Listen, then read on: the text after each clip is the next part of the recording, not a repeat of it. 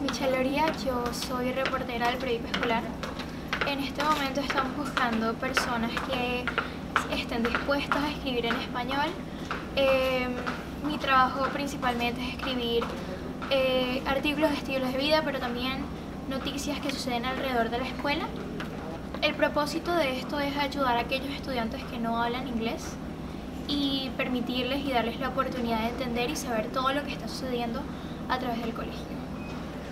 si ustedes están interesados pueden venir al salón de 9 y buscar también el website, el cual es theblackmanboys.net.